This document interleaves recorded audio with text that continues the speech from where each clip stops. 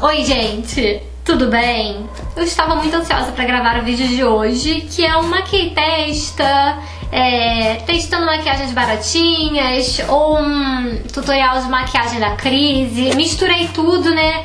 Porque o que, que eu fiz? Comprei algumas maquiagens baratinhas que eu ainda não conhecia e juntei também algumas maquiagens que eu tinha e que eu já usava. Então ao longo do vídeo eu falei que eu achei desses produtinhos baratinhos que eu comprei baratinho entre aspas, porque a loja aqui perto da minha residência, ela mete a faca em você, sem dó nem piedade. Eu espero muito que vocês gostem. Se você quer saber os meus produtos preferidos, é só continuar assistindo. Vamos começar com um produto que eu ainda não conheço, ainda não testei, que é o primer da Ruby Rose, que é o Studio Perfect. Eu paguei nele o preço de 23 reais. Você vai ficar assustado? Vai. Eu sei que vai, porque em outras lojas é 10 reais, 11 reais. Não sei o que, que acontece, sabe? Nessa loja perto da minha casa. Eu prometo pra mim mesma que eu não vou comprar mais nada lá. Juro. Eu tô sentindo a dor da facada que eles me deram. É, ele é transparente. Está deixando minha pele aveludada. Deixa eu olhar meus poros. Achei ele bem bom. Melhor do que o primeiro que eles lançaram, que eu não via diferença nos poros. E nesse daqui eu já vi. Gostei, gostei da textura que minha pele ficou. Agora, me falaram lá no Instagram que ele deixa a pele com espinha, né? Se deixar minha pele com espinha, eu vou falar, tá? Nos próximos vídeos. Agora eu vou usar um produto que eu já testei e que eu uso, né? De vez em quando eu uso pra gravar, que é a base da Queen. Essa foi 13 reais nessa loja. Ela deve ser 6 reais, né? Nos outros lugares. Que é só diminuir o preço pela metade. Ela é uma base muito grossa, olha isso. Parece um co... Ui! Ela parece um cocôzinho caindo, olha só. Como é que ela é grossa. Porém, eu gosto dela. Eu acho só que essa cor tá um pouquinho escura pra mim, mas tá bom.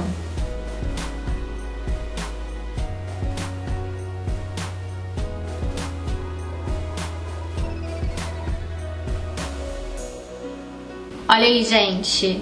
Essa daqui eu não vou falar muito porque já tem resenha dela aqui no canal e não é um produto que eu tô testando, é um produto que eu estou indicando. E essa é a versão nova, tá? Ela realmente é mate e dura bastante. Eu prefiro ela do que aquela da Ruby Rose. Vamos para as sobrancelhas. Tá achando nojento? Que bom. Não é a sua baba, é a minha. Agora eu vou usar esse duo de sobrancelhas da Fenza, que eu já tenho ele também há um tempinho, não é um produto novo que eu vou testar, tá vendo? São duas cores, não me diga. Uma mais quente e outra mais fria. Eu vou usar essa daqui.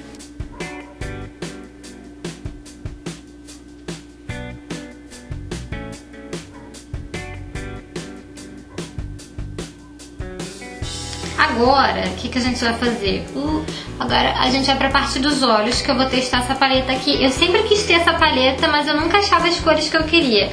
Essa daqui é o modelo A. Cadê a caixinha dela? Acho que eu joguei fora. E é, a referência é L758D. Origem, China. Eu tô criando uma expectativa nessa paleta, tá? Essas são as cores que vem. Vou usar o pincel de esfumar da Vult, como sempre. Eu sou bem criativa. Vou pegar essa cor aqui. Vou esfumar o meu côncavo. Espero que não seja aquela sombra que a gente esfuma e ela some, né? Por enquanto eu estou gostando. Vamos ver na hora de passar na pálpebra se ela vai pigmentar. Essa paleta aqui, ela custou por volta de 20 reais. Os produtos que eu já tenho, que eu tô mostrando pra vocês, eu não vou lembrar exatamente o preço. Igual o do de sobrancelhas da Fenza, eu tenho, ele já tem muito tempo, então eu não vou lembrar exatamente. Agora eu vou pegar esse marrom aqui pra marcar o meu côncavo. Vamos ver se vai. Olha, tô gostando, achei que, que não fosse.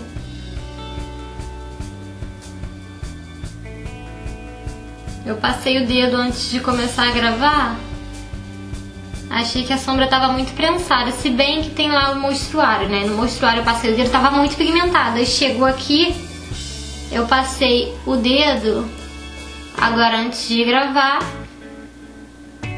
Eu achei que fosse me decepcionar, mas não, olha, ela está pigmentando. Agora eu vou pegar essa sombra aqui, que é um, um meio café com leite, meio cor de pele. Vou dar batidinhas aqui. Tá saindo? Eu não tô vendo.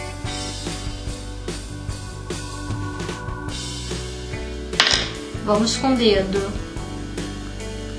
E esse marrom tá, não tá muito bom não, hein?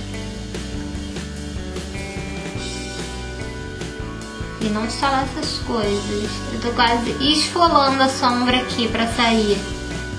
Agora tá saindo mais ou menos em esse marrom. Agora por último, eu vou pegar a sombra preta. Ué, engraçado, tem duas sombras que parecem pretas. E agora? São duas pretas? Acho que são duas pretas que tem. Olha, até que ela é boa, hein?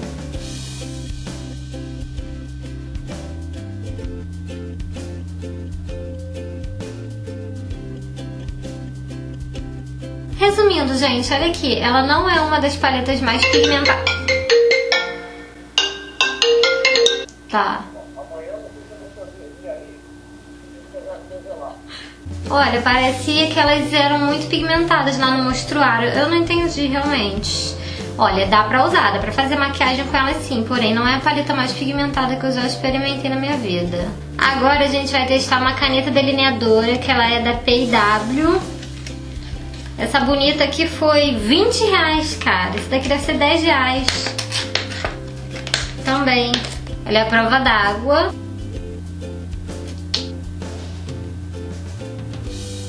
Olha. Curti. Caraca, ela é muito boa. Ela é pigmentada igual a minha caneta favorita da Toque de Natureza. Será que eu vou trocar minha caneta por essa? Eu só espero que não seja aquela caneta que seca no dia seguinte, né? Que tem umas que são super boas e no dia seguinte já tá seca. Olha, já deu ruim aqui, ó. Que eu fui ajeitar a ponta dela. A ponta do delineado agora eu tô querendo ajeitar, tá tirando que eu tô passando por cima. Olha, ela tem um defeito que as canetas delineadoras geralmente têm. A tinta não vem até a ponta.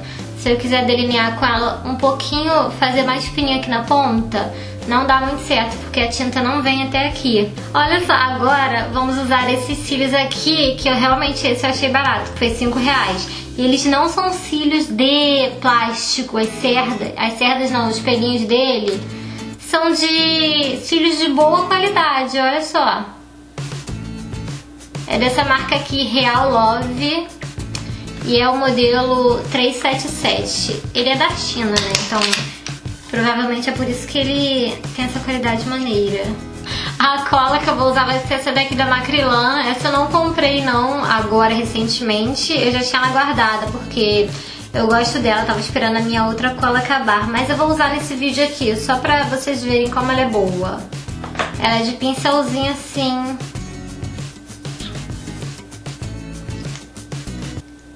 Mentira, que a cola secou. Caô. Gente, a cola tá seca! Mentira. Que isso, gente? Não, tá... Não, não.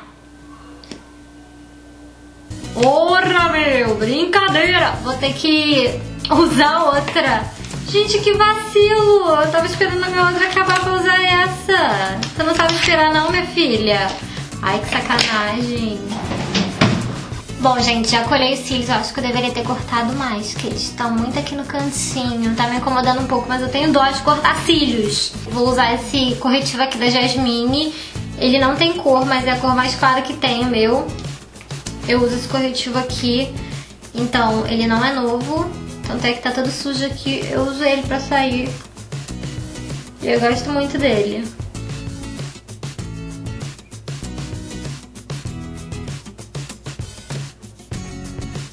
Agora eu vou usar esse pó aqui da Ruby Rose. Eu sou burra, não tenho um pó mais claro pra usar nas olheiras. Tenho, mas é da Vult, mas eu esqueci de comprar a droga. Eu fiquei com tanta raiva da loja que o preço era caro. Esse daqui também eu já tenho, não é novinho e essa é a cor natural claro. Ele vem uma esponjinha, mas é uma esponjinha ruinzinha. Não gosto dessa esponja. Essa daqui, ó.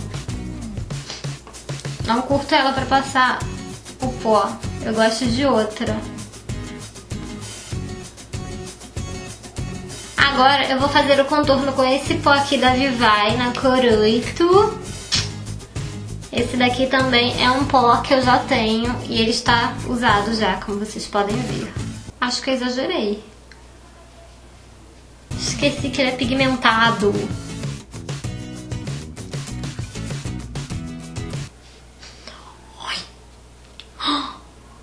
Gente, eu furei a orelha, botei vários piercings, esqueci. Meu Deus, não pode.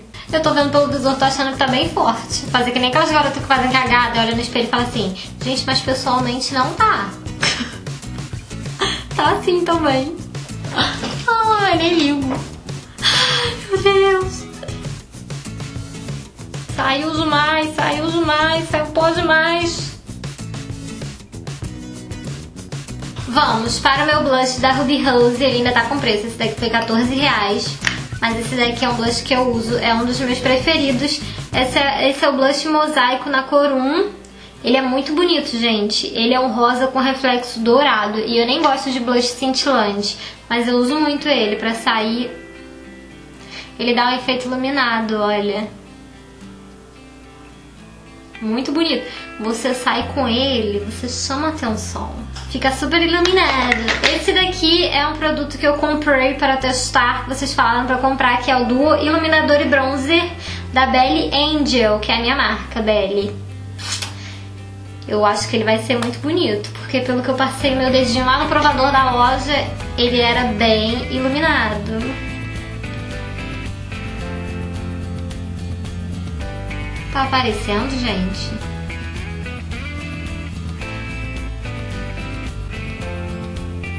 Aí elas que, não sabem de parar. Ai, muito bonito ele, gente. Não sei pra que gastar caro pra caramba com iluminador. Olha isso, baratinho o negócio. Baratinho entre aspas. Que eu paguei mais caro que o normal. Ele deve ter sido uns 20 reais, tá sem preço. Mas ele foi 20 reais. É a loja dos 20 reais, né? Porque tem a loja de 99, essa daqui é dos 20 reais. Eu não sei se passar iluminador no nariz deixa bonito ou se parece que eu tô com o nariz oleoso. Agora a gente vai passar essa sombrinha mais escura aqui nos cílios inferiores. Essa maquiagem tá bem parecida com a do tutorial. É que eu não tava planejando, gente. Eu não, não cheguei a planejar uma maquiagem. Eu tô testando a paleta agora. Então, eu fiz algo que eu já sabia que poderia ficar legal. Agora sim a gente vai usar o rímel do charuto, que é o rímel da Tango. Ele tem duas fases. Vou passar aqui pra juntar os meus cílios nos cílios postiços. Olha aqui como é que eu deveria ter cortado mais. Ele tá muito no cantinho do meu olho. E é só nesse, eu acho que eu tenho um olho muito maior do que o outro. Esse daqui deve ser o menor. Eu sempre corto os cílios iguais. E nesse daqui, parece que fica sobrando. Voltando ao batom, porque minha bateria acabou, tive que trocar. Vou usar esse batom aqui, nude da Queen Makeup, na cor 45.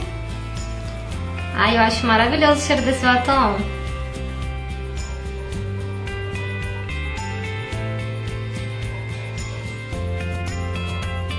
Bom, gente, eu espero muito que vocês tenham gostado do vídeo. Desculpe o cachorro latindo no fundo. Nem sei de quem é esse cachorro, ele tá perturbado hoje.